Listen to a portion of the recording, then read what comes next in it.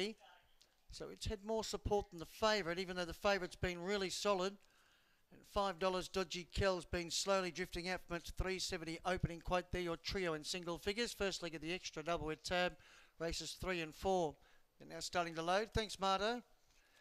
And Special Karma's had six placings from its eight career starts all over the 520 metres and four of those recently here at Ipswich and looks at the shorter trip the 431 for the first time and comes up with the stripes from Frosty Lover and Dodgy Kell both first starters not meeting strong fields on debut. Set to go and away. Special Karma began fast. Irritates come out with it. Coming across was trounced to third. Gun Sun goes to fourth. Then followed by Dead Dodgy Kell, Frosty Lover, Tall Talker, and Alpha Tice was last of all. They bunch up Special Karma in front. Joined on the outside by Dodgy Kell, Gun Sun wider. Just behind them was trounced and Irritate swinging for home. Special Karma climbs off the canvas again. Comes back for more. Hits the lead, draws away and wins easily. Special Special Karma by six in the end.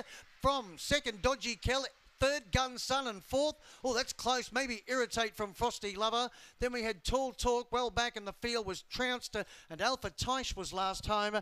25 and 50 was the run.